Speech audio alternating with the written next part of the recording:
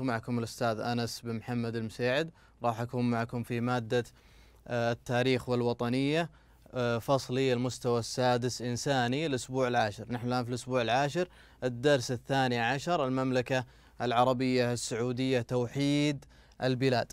نرجع نستذكر آه، ما أخذناه الدرس الماضي. الدرس الماضي كان يتحدث عن استعادة الرياض. نرجع بالذاكرة للخلف شوي نشوف ماذا حصل وكيف تم استعادة الرياض. نتذكر الدولة السعودية الثانية أنها سقطت على يد بن رشيد وكذلك آخر حكامها عبد الرحمن الفيصل اللي ارتحل من الرياض إلى الكويت وأخذ معه أسرته.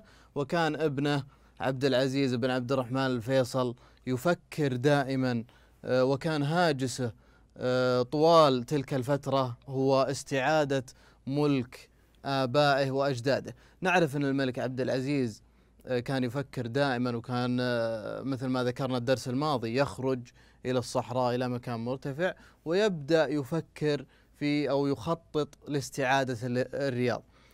عاد الملك عبد العزيز فعلا لاستعادة الرياض وذلك بمحاولتين محاولتين. المحاولة الأولى اللي هي في معركة الصريف. حصلت معركة بين آه، ابن صباح وابن رشيد ونعرف أن عبد الرحمن الفيصل وابنه الملك عبد العزيز خرجوا مع ابن صباح لمعركة الصريف بينما آه، كانوا في الطريق خرج الملك عبد العزيز وأخذ استأذن من والده ابن صباح وأخذ معه فرقة صغيرة ونزل باتجاه الرياض.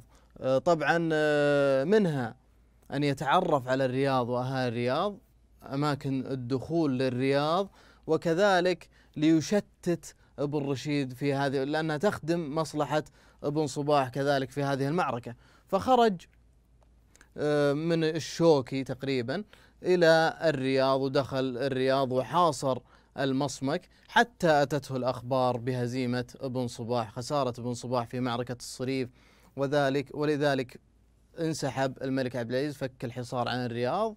وعاد إلى الكويت. بعدها بسنة عام 1319 خرج الملك عبد العزيز مثل ما ذكرنا سابقا باتجاه الأحساء ثم إلى الربع الخالي جنوب المملكة العربية السعودية جنوب شبه الجزيرة العربية ثم آه، مرورا بالخرج إلى جنوب الرياض آه، ثم دخل الرياض مثل ما ذكرنا سابقا انه دخل المصمك وقتل العجلان وأعلن أعلى المصمك الملك لله ثم لعبد العزيز بن عبد الرحمن بن فيصل بن تركي آل سعود. آه، بذلك تم استعادة الرياض. نجي لاسترداد جنوب الرياض، سؤال يطرح نفسه لماذا الملك عبد العزيز طيب الله ثراه بدأ باسترداد جنوب الرياض؟ لماذا بدأ باسترداد جنوب الرياض؟ سؤال يطرح نفسه لماذا لم يذهب شمالا مثلا القصيم أو الأحساء أو مثلا مكة والمدينة؟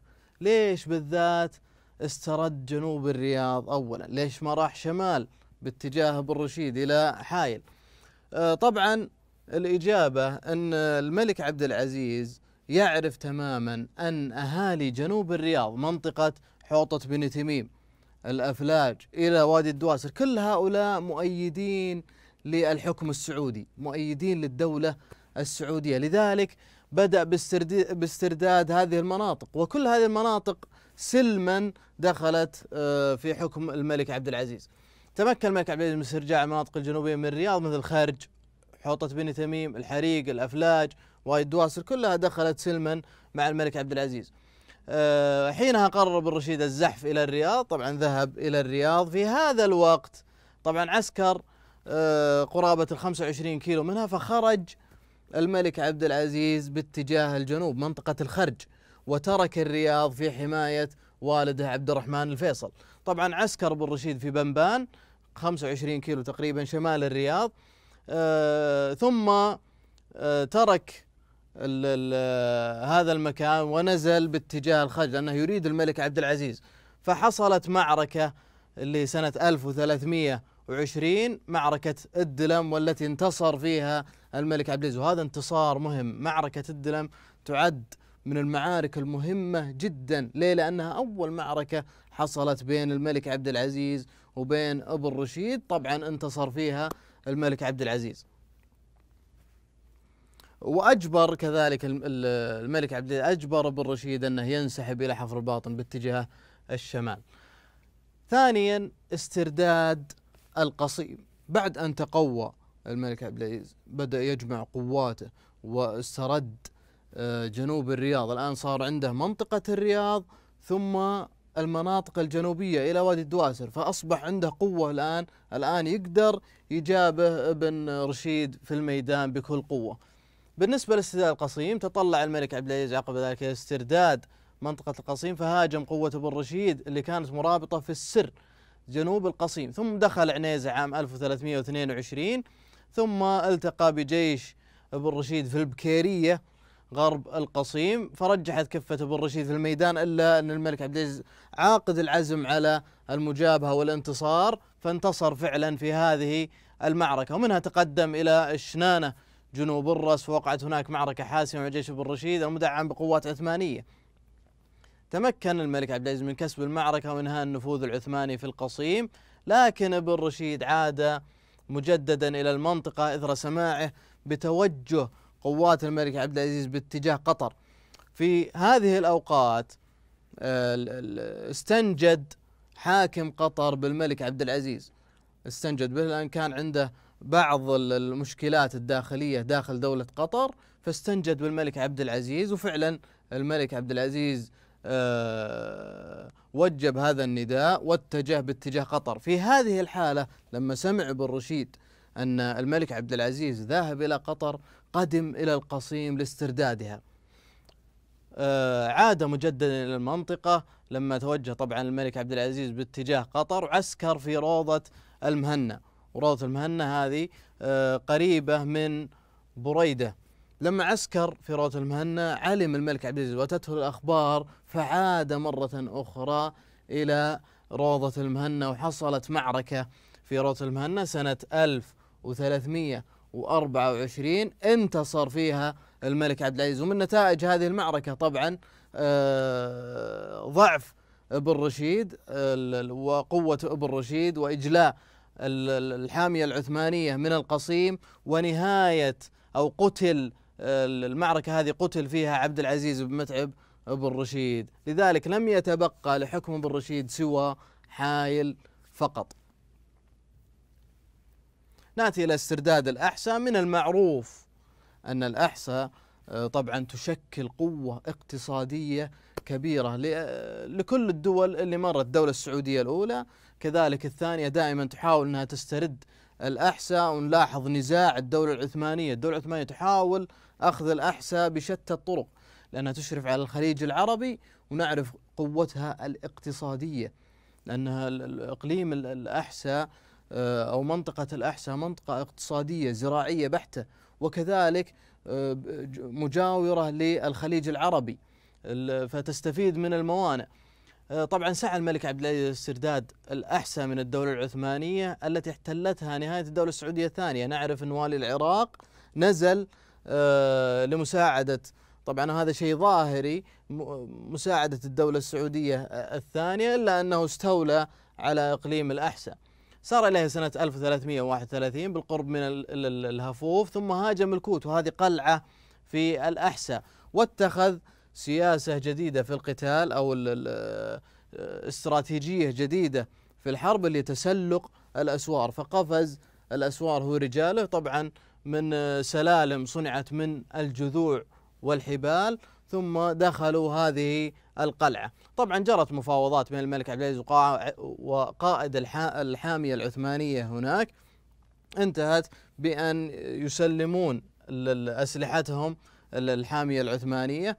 ويخرجون آمنين من منطقة الأحساء. وفعلا أعطاهم الأمان الملك عبد العزيز وأوفى بعهده أن أخرجهم آه، سالمين آمنين وذهبوا إلى بلادهم. طبعا عكس ما فعل العثمانيين. نعرف العثمانيين في الدولة السعودية الأولى غدروا بالدولة السعودية الأولى لما أحرقوا الدرعية أعطوا السعودية الأمان. فلما آه، سلم آه، سلموا أنفسهم قاموا بحرق الدرعية عن بكرة أبيها وهدموها.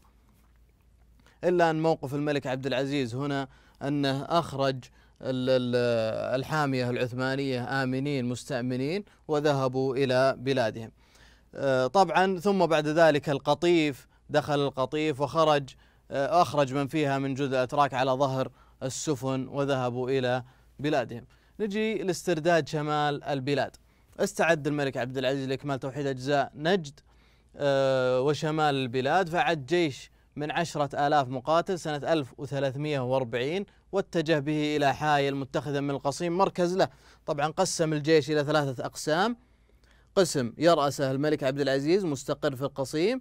قسم يرأسه أخوه محمد آه، محمد بن عبد الرحمن بن فيصل بن تركي واتجه شمال المملكة. والقسم الثالث آه، يقوده الملك سعود. آه، بن عبد العزيز آل سعود وفعلا هو اللي حاصر حايل. حايل تحت الحصار. نجي لمنطقة حايل تحت الحصار. طبعا نجي لأمير آه، طبعا تولى الملك عبد العزيز قيادة الفرقة الثالثة مثل ما تحدثنا. وأثناء حصار آه، حضر أمير حايل وهذا اللي جاء بعد بن رشيد عبد الله بن متعب آه، آل رشيد إلى معسكر الأمير سعود معلنا الاستسلام. استسلم إلا أنه محمد بن طلال. محمد بن طلال رفض هذا الاستسلام فأغلق حائل آه، على نفسه ولم يفتح المدينة نهائيا حتى أن أهالي حائل آه، تدمروا من هذا الحصار وأدركوا أن الملك عبد العزيز لديه قوة هائلة وأنه لا محالة سيأخذ حايل فطواعية آه، تدمروا من هذا القرار من قرار محمد بن طلال فأوضحوا له أنه لابد أن تستسلم وتفتح أبواب حايل وفعلا فتحت أبواب حايل ودخلها الملك عبد العزيز سنة 1340 للهجرة. نجي بعد ذلك استرداد عسير ونجران في سنة 1338 أرسل الملك عبد العزيز حملة عسكرية بقيادة الأمير عبد العزيز بن مساعد بن جلوي.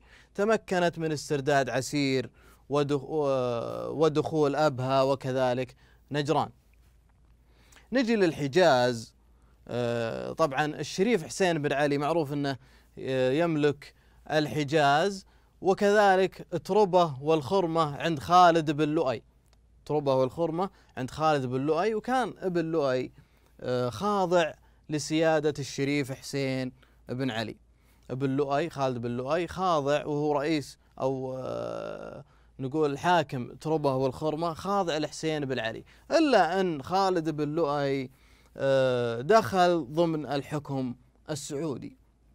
دخل آه، ضمن الحكم السعودي مما أغضب الشريف حسين بن علي. شوف حسين حسين بن علي غضب آه، من خالد بن لؤي فاعتدى على تربه والخرمة.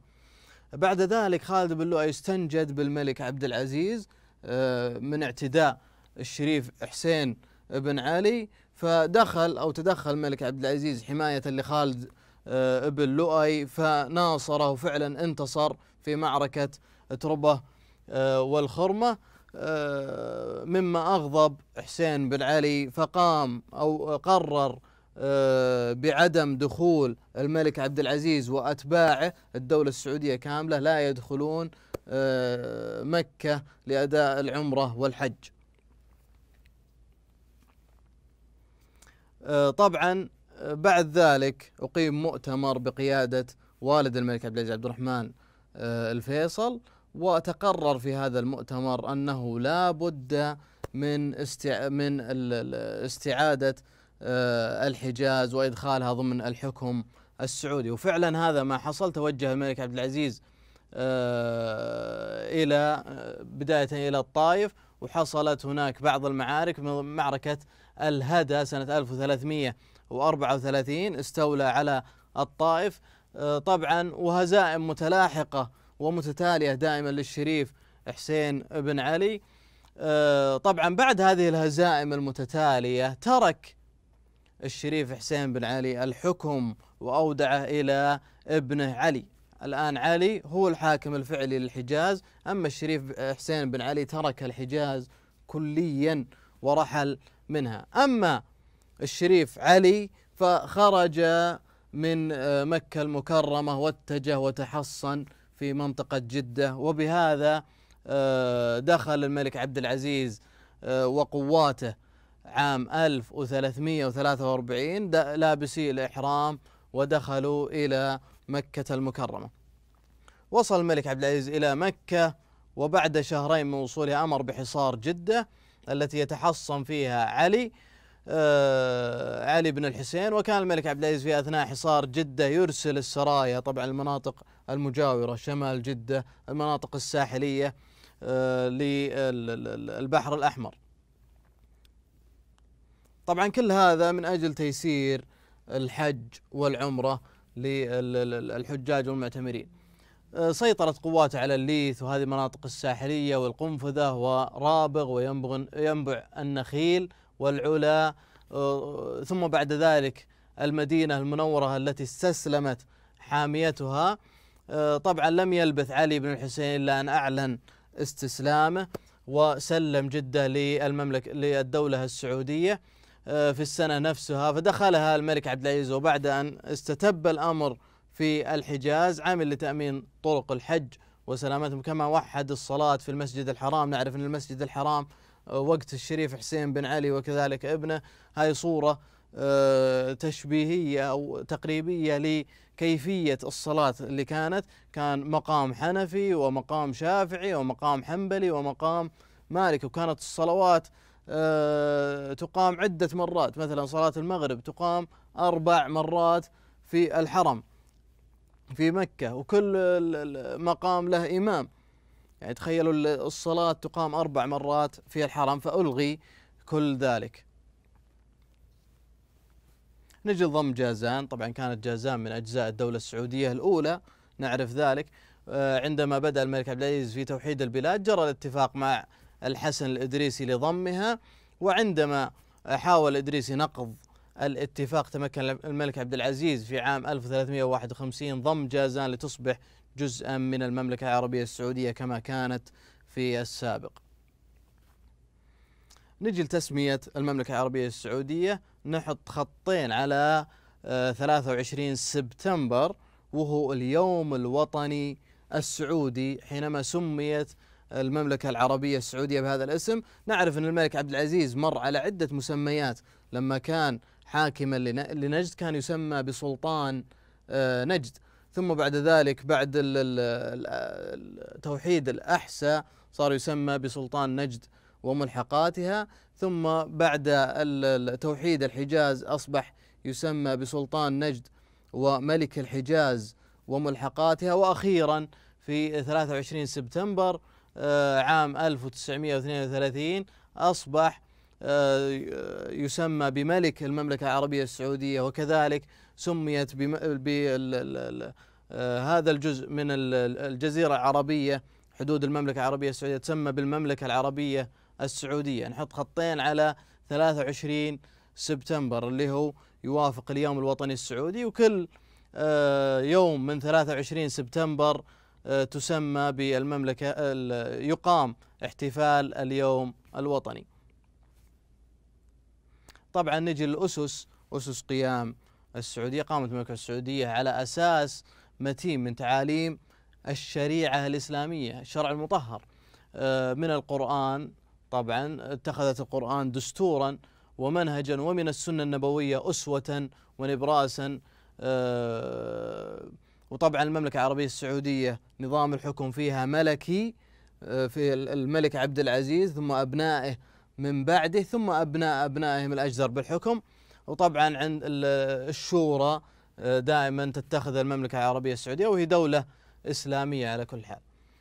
آه، معالم السياسة في المملكة السعودية أولا عدم التدخل في شؤون آه، في الشؤون الداخلية للدول الأخرى. طبعا المملكة السعودية ما تتدخل في أي شؤون دولية من لأي دولة شؤون داخلية لأي دولة. وكذلك لا نرضى ولا ترضى المملكة السعودية بأن تأتي أي دولة وتتدخل في شؤونها الخاصة أو في الشؤون الدولية. نجي النقطة الأخرى مناصرة قضايا العرب. وطبعا أدلة كثير جدا مناصرة قضايا العرب منها قضية والمسلمين. آه، طبعا من ضمن هذه القضايا قضية فلسطين ونعرف ماذا فعلت المملكة العربية السعودية على مر السنين على مر العصور من الملك عبد العزيز إلى يومنا هذا والمملكة العربية السعودية آه، واقفة آه، بشكل قوي مع القضية الفلسطينية وقضايا كثير جدا لا تعد ولا تحصى. طبعا ودعمها في المحافل الدولية آه، والفاعل الإيجابي في المشكلات العالمية المعاصرة ولذا آه، ساندت المنظمات الدولية تحقيق السلام والعدل بين الشعوب. هذه صورة آه، طبعا إذا رجعنا للدرس زين هذه الصورة إن شاء الله إنها تكون واضحة. وهذه تبين التواريخ لاستعادة الملك عبد العزيز لأجزاء المملكة العربية السعودية. مثلا 1319 لاحظ باللون الأخضر هنا الرياض والمناطق الجنوبية من الرياض. وكذلك التواريخ الأخرى والألوان توضح آه، مراحل استعادة المملكة العربية السعودية وتوحيد المملكة العربية السعودية. انتهى درسنا هذا. آه، شاكر لكم استماعكم وإنصاتكم. والسلام عليكم ورحمة الله